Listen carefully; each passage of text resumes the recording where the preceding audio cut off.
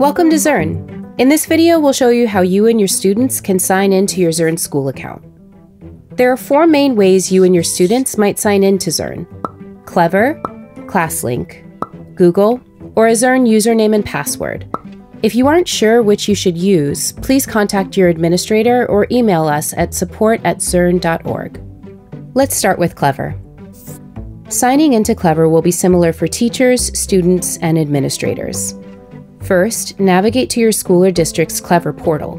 If you're on the Zearn homepage, you can get there by clicking Sign In with Clever.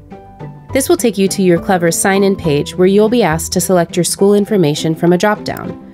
You will then be asked to sign in using your Clever credentials or Clever badge. Once you've signed into the Clever portal, simply click on the Zearn icon to be taken directly to Zearn. If you're signing into a teacher account on your Zearn homepage, you should see a green school account badge in the upper right corner. If your students are logging into Zearn via Clever for the first time, students will be given an opportunity to merge an existing non-Clever Zearn account that they might have used prior to getting a school account. First, students will be asked if they've used Zearn in the past. If they've previously used Zearn, they should click Yes, then enter their existing Zearn account credentials, which will import their data into their new school account. This allows them to see all the badges they've already earned and will enable you to see their existing progress in certain reports. Note that students only have one opportunity to merge their account, so it's important to communicate the steps in advance. Once students have merged their accounts, they should only sign in using Clever from now on.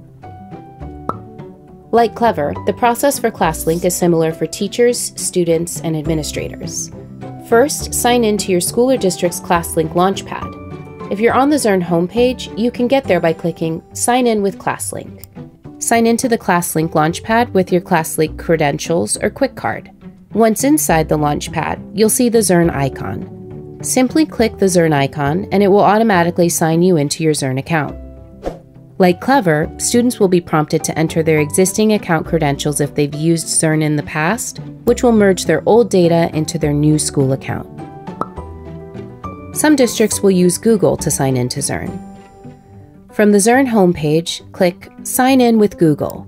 If you're already signed into Google, simply select your username. Otherwise, enter your district Google username and password and you'll be signed into Zearn.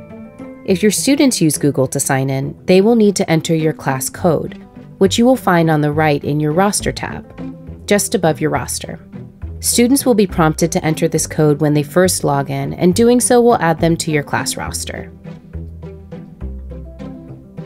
If your district doesn't use Clever, ClassLink, or Google, you will sign in with a Zearn username and password.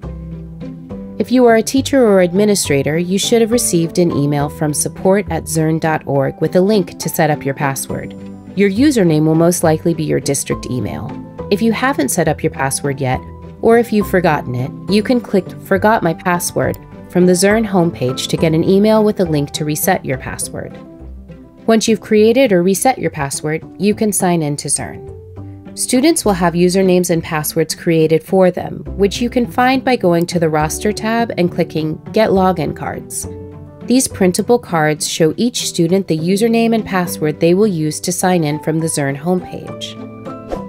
Similar to signing in with Google, if your students sign in with a Zearn username and password, they will need to enter your class code in order to be added to your roster. Those are the main ways you and your students might sign in to Zearn. As a final note, if you have an administrator account, you will be asked to set up two factor authentication after your first sign in, since you have access to exportable student data. If you have any issues setting that up, please visit the Zearn Help Center or email us at support at zearn.org. All right, you're ready to sign in and get started with Zearn. To learn more, Join our hashtag MathFam by connecting with Zearn on Twitter, Instagram, and Facebook for ongoing ideas and inspiration from fellow teachers.